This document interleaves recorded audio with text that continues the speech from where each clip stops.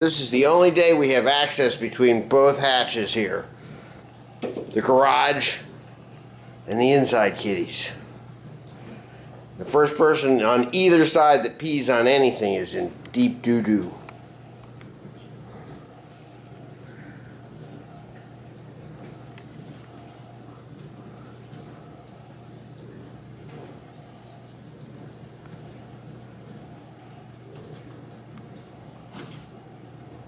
Just remember, if you go out into the garage and you're not a garage cat, it's permanent. Yeah, that's what I thought. There's the dingo.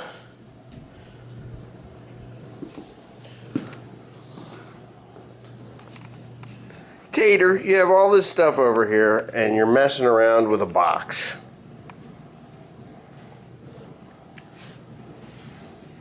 Scoot be nice. Tater will kick your butt. What's under there, Dingo? Good girl.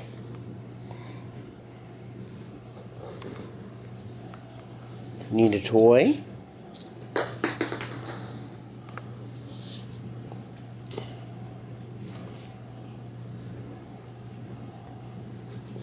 Yeah, this is the borderline here.